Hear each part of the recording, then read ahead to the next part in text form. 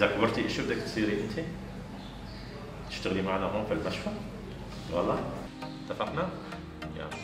فاطمة بنت عمرها عشر سنوات تعرضت لإصابة إصابة عمل بشكل أو بآخر خطأ أنه علق شعرها آه، في ماكينة لتوليد الكهرباء فمولدة قشاط لتوليد الكهرباء فأدى إلى انقلاع كامل فروة الرأس بشكل كامل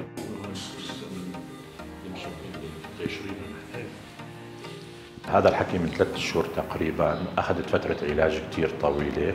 علاجها هو على ثلاث مراحل. قطعنا شوطين منهم. مرحلتين من فضل رب العالمين بنجاح. المرحلة الأولى هي إرقاء النزف. انكشف عند العظم في الجمجمة.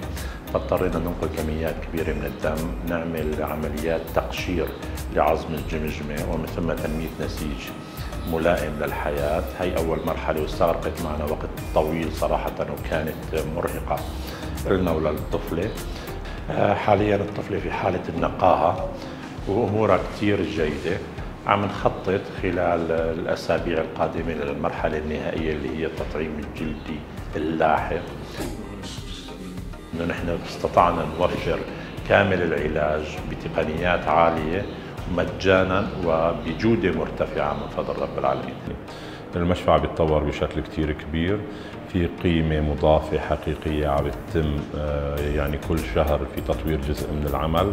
آه، يوميا بحدود ال 40 إلى ال 50 عمل جراحي. فرحتنا كثير كبيرة عند اللي بنشوف عم نعيد البسمة لأهل الطفلة. وللطفلة نفسها أنه هي عم ترجع آه، بتعيش حياتها بشكل كثير قريب من الطبيعي.